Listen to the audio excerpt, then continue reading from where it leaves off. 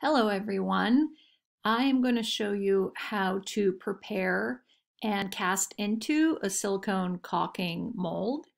If you watched part one of how to make a silicone mold, just notice that this is actually a different silicone mold that I'm working with here. And in this case, I am making a beeswax candle.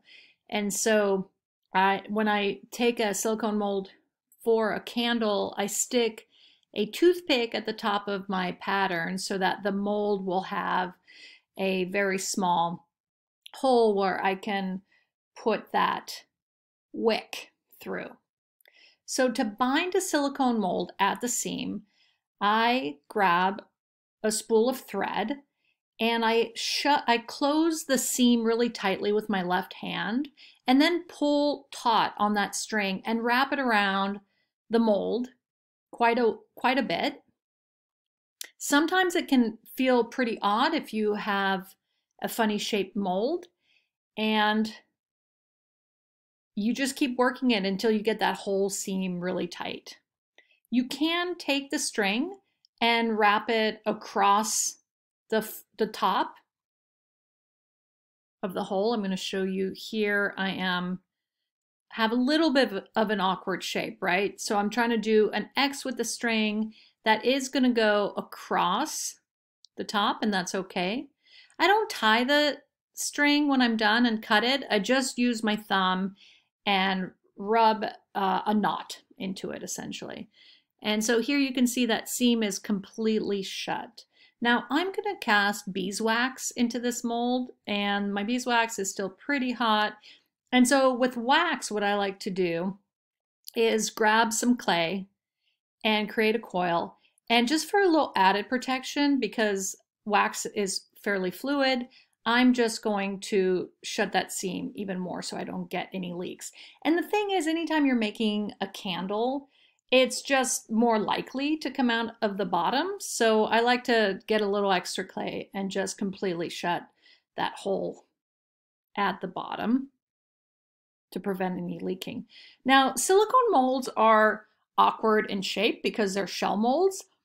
And so you do need to prop them up at level into some kind of container, a cup or a bowl or a bucket. And then I take a coil of clay and just try to help stabilize it. You can use a level to do this. I just kind of eyeball it. And then while I'm casting my material in there, if I need to shift it, I can do that as well. All right, I can prop this wick in the center on a stir stick or pencil. Sometimes I use a little hot glue there to hold it more tightly as well. And I'm going to pour beeswax into this that I heat up. I always heat up in a crock pot. That is the safest thing to do in a home studio. I melt it on high, and then as soon as it's melted, I just keep it on warm. And you can also color your wax, paraffin wax or beeswax, with little chunks of crayon. Just plop them in when it's melted and stir it up. So I'm going to fill this up just all the way up to that seam I went over a little bit. And notice that the string is soaking into that beeswax there. That really doesn't matter. It's just going to pull right out as soon as this stuff dries. So I'm going to let this settle overnight. And when I come back, I can just pull that off and all that clay is dried. And take all the string off as well. And notice I was just kind of looking to see where that seam was.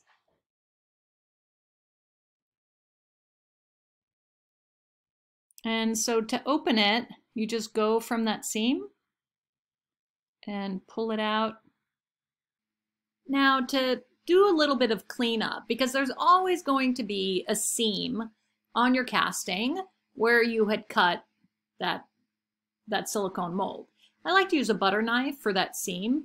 And if you have some pieces around your piece that are little chunks that you didn't have before, that's most likely was a hole in your silicone mold, a little air pocket. And I really like to use a Surform uh, to shave the wax or plaster as well. And that's it.